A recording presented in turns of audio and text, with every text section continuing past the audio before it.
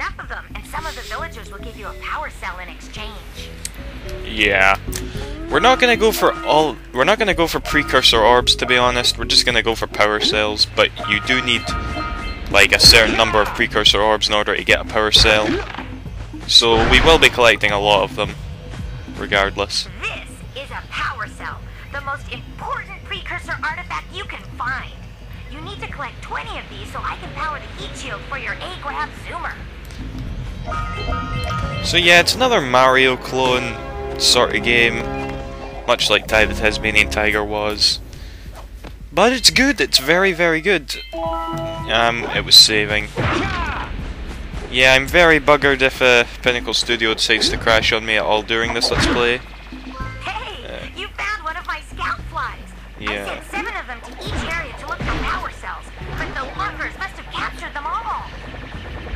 Yeah, if you find seven boxes like this, then you'll get a power cell.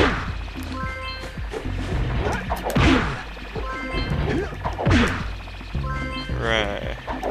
And the only way to open them is to dive onto it. Power cell!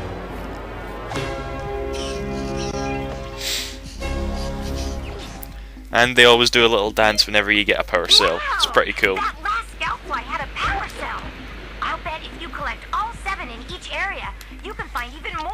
Cells. Yeah, without a doubt, the uh, coolest thing about Jak and Daxter is the huge sense of exploration it gives you. Like, if you can see anything on the map, you're pretty much able to just go over there and explore. Like, over there, that island, we're gonna explore all of that later. And there's Misty Island, where the opening cutscene took place. We're gonna go over and explore that as well. Yeah. And the world is just so pretty to look at, you know. These green things here, by the way, is green eco. It constitutes as your health. And this is blue eco. There's four types of eco. This lets you run faster. And destroy things and makes you a magnet to uh, precursor objects. That's Blue Eco. Oh, he's about to tell us. The energy of motion. Blue Eco allows you to run fast, break boxes, and even activate some precursor artifacts when you get near them. Thanks for that, Samos. Notice how each Blue Eco cluster you pick up increases the time you can use its power. Hehe. I just love zooming through this part. Probably missing some stuff, but I don't care. This is a precursor door. It can only be opened by approaching the door while channeling Blue Eco through your body. Okie dokie then. Yeah, you. Actually, I meant to say this back there, but you probably will get this Let's Play shortly after Spider Man because as I talk, the final part of Spider Man is uploading. That's a blue eco vent. And it's Sunday and I'm doing nothing, so. clusters. This vent will give you a full charge of blue eco, letting you use it for the maximum time. Actually, I just bet. I bet Gears of War 2. Uh, was it yesterday? No, it was Friday. Aye. And I I got paid last night from work, and I really, really, really want to get Mirror's Edge. But no one's willing to give me a lift into town today, so I could buy it. So it's gonna have to wait for a bit longer before I get that one.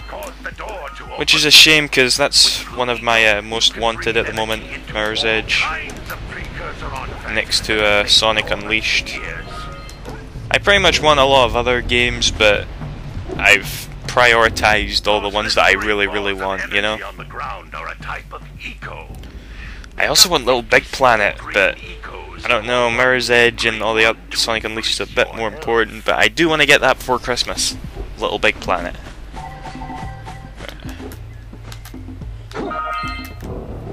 Right, are we close to getting all the precursor orbs? I think so. I think once we collect these ones, we'll be done.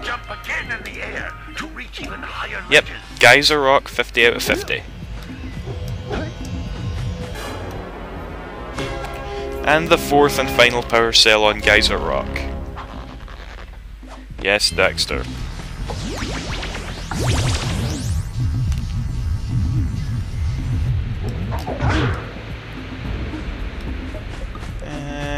Right, that's us done for Geyser Rock then. Probably gonna make this its own video. Uh, if we have time, we'll watch the long cutscene again. Alright. Yeah, you can't skip the cutscenes, which was a really annoying thing for me back in the day.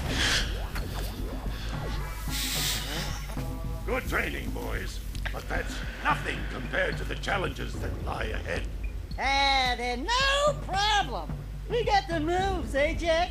We'd love to stay and chat, Big Green, but we're, uh, itching to get on with our adventures. Fine, fine. Adventure away then.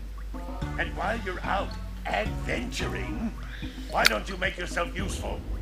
My darn green eco collectors are clogged up again. Head out to the far side of the beach and clear them out, why don't you? If we do that, we'll get a power Follow. The lamps. They'll take you right there. Right, that's the beach level, but we're not gonna go there just yet. Get out of here! Okay, same old scam doing. Right. Uh, check this out. This is Jak and Daxter Glory. This sh shot right here. Uh, if I rotate, if it lets me rotate the camera properly. Check it all out. How sweet is that? It's even better when the sun is rising. Yeah, the day to night transitions in this game are probably the best I've ever seen, to be honest. Just flows really smoothly from day to night. Right, let's talk to Keira here. Hey, baby. What do you We don't have you to, but I want to show you on all the funny cutscenes. Rule number one I don't date animals. Ah, you don't know what you're missing. What about Tess, Daxter? Listen, Heck, if we'll you get need to that something later. to keep you busy, my father always talked about an ancient precursor pipeline hidden deep underground. Some of these pipes end in vents from which eco flows freely, and some have been capped off so that the eco is sealed back. There must be a way to turn the capped vents on. I traced part of the pipeline back to the Forbidden Temple. Maybe you should look there for some type of switch. Alright. Yeah, another... Oh, what's in here again? Oh, you can't go in here. Never mind. Another sweet thing is there is absolutely no loading times whatsoever in a Jak and Daxter game. That's why Jak X on the PS2 is so shit. Right, so here we are in a... What the hell's it called again? Tell me. Uh... Sandover Village. We got a couple of people to talk to. Right. It looks like scout flies are always in red boxes. Right, I can't quite remember where they all are actually. this is gonna take a while. We'll talk to this guy first. Don't tell me that you two have problems as well. The first I hear of monster sightings near the village, and now this. See those gears up there, boys? See them? See how they're not moving? That means our village has no power. The eco beam coming from the jungle temple has been interrupted.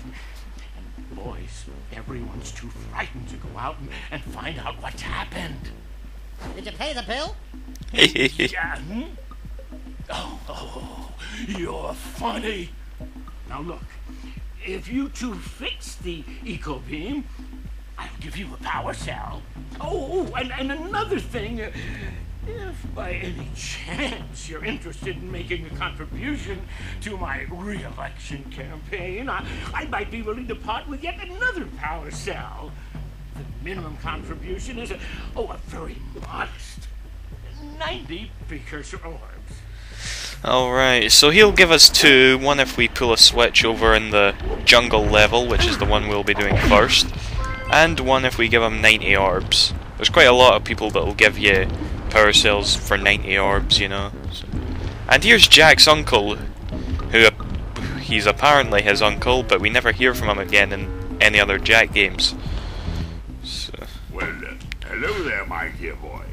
You've caught me at a most inopportune moment. Uh, I wish to set off on my journeys yesterday, but I seem to be a spot short on the old precursor orbs.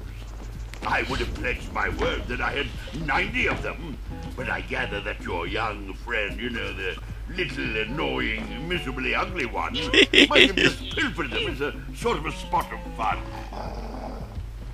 Anyway, uh, would you be kind enough to loan your dear old uncle 90 precursor orbs so he can get underway? I would offer you a power cell in return. Right, so yeah, yet another character who will give us a power cell if we give him 90 orbs. Ryan, do you hear that whirring there? That means there's a scout fly nearby. Where exactly? Down here. Right, I think we'll try and get all the scout flies and power cells in Sandover Village. This is the way to the beach level. We're not going to go there just yet though. Notice how it's turning to night already? It's very flawless. Another person to talk to.